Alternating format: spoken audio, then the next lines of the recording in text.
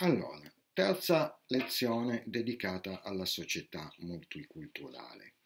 In questa lezione parliamo di due concetti filosofici che, se volete, molto importanti e rimandano anche ad altre discipline, che sono appunto l'uguaglianza, l'identità e la diversità o differenza. Sono due concetti sui quali si è concentrata la discussione proprio da un punto di vista sia giuridico che filosofico che sociologico, sul quale concepire appunto come sviluppare la nostra società multiculturale. Prima di tutto parliamo del valore dell'uguaglianza, eh, che è stato un valore affermato dalla borghesia rivoluzionaria durante il Settecento in Francia, fa riferimento appunto all'illuminismo che sono stati i primi a concepire quest'idea ed è una questione estremamente importante soprattutto perché è diventato il cardine delle costituzioni dello Stato moderno, cioè l'idea che davanti alla legge si debba essere in qualche modo tutti uguali, senza distinzione di classe, religione, genere, eccetera, eccetera. È ovvio che dicendo questo la cosa importante è che è proprio lo Stato che ha la funzione di regolatore, di dispensatore di diritti uguali per tutti mentre l'altro concetto, quello della diversità, viene prima di tutto affermato nella celebre lettera sulla tolleranza da John Locke, dove appunto la tolleranza è questo atteggiamento di cui John Locke si faceva appunto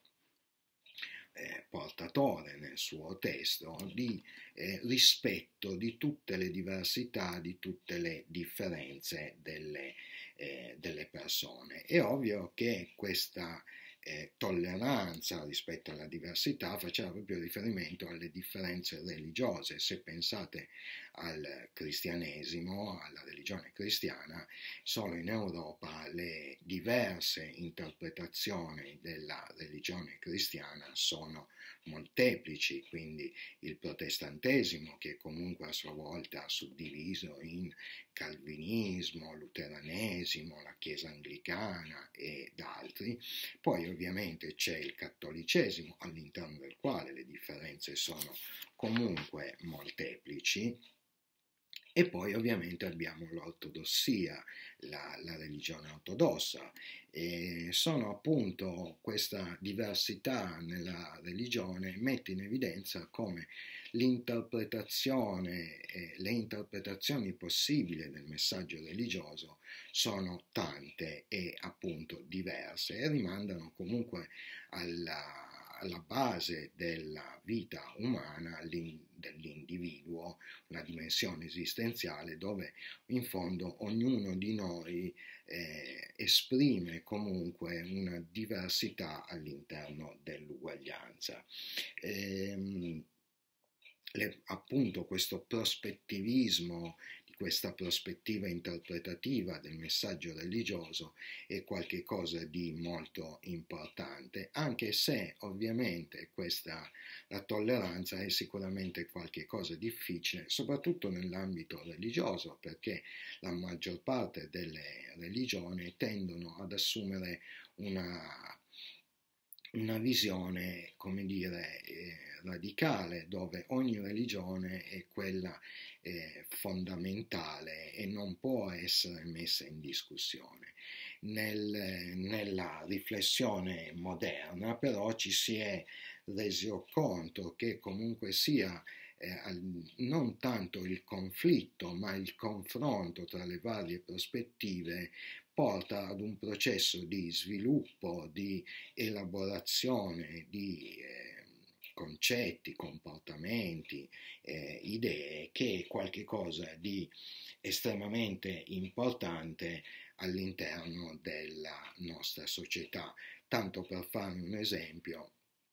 l'idea appunto del l'uguaglianza di genere tra uomini e donne, noi siamo sicuramente uguali, ma le differenze tra uomini e donne ci sono e bisogna trovare il modo di riuscire a conciliarle, anche se conciliarle potrebbe voler dire ridurre tutti alla stessa posizione e in qualche modo non rispettare invece le differenze che possono essere invece un qualche cosa che produce idee nuove e anche sviluppo o elaborazioni positive. Una cosa, un fenomeno particolare su cui vale la pena eh, spendere qualche parola è il caso degli, afro, degli afroamericani negli Stati Uniti, dove appunto a partire dagli anni 70 eh, in qualche modo è nata una rivendicazione, un movimento di rivendicazione per il super, superamento delle differenze razziali che, nonostante la guerra di indipendenza, sono comunque eh, rimaste profonde all'interno della società americana, con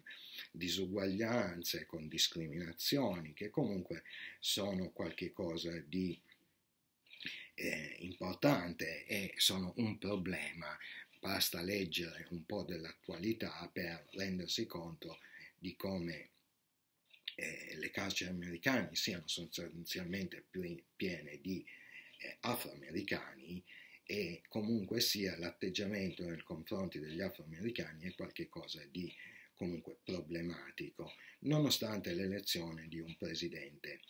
nero. Eh, è importante qui ricordare due figure che hanno caratterizzato il, i movimenti di rivendicazione dei diritti degli afroamericani cioè da un lato quella più conosciuta, che se volete è stata vista come quella buonista, dove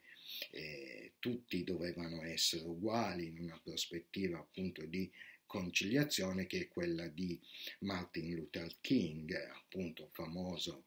suo, il suo celebre discorso I Have a Dream, dove lui appunto sperava, rivendicava lo sviluppo di una società dove tutte le persone fossero sostanzialmente uguali. Mentre meno conosciuta, però sicuramente molto importante in quel fenomeno, che appunto sono stati i movimenti di rivendicazione degli, degli afroamericani, è Malcolm X. Eh, Malcolm X è una figura che invece predicava più un'azione, se volete, violenta, aggressiva nei confronti della società bianca e una, dire, una prospettiva anche dove si unisce nella riflessione di Malcolm X anche il fatto che in qualche modo gli afroamericani dovevano avvicinarsi alla religione musulmana che era più in linea con la rivendicazione dei diritti degli afroamericani pur nella diversità tant'è che Malcolm X anche propose in qualche modo agli afroamericani di ritornare tutti in Africa da dove arrivavano. E, ehm, per concludere possiamo sostanzialmente dire che il problema della nostra società multiculturale, quello che vedremo appunto nella prossima lezione, è appunto quello se, eh, come dire, concepire la nostra società come una società multiculturale dove ci sono le differenze ma più o meno vengono tutte omogeneizzate e rese uguali, oppure dove invece ci deve essere una prospettiva interculturale dove le differenze vengono non solo rispettate, ma anche valorizzate come un qualche cosa di positivo e produttivo.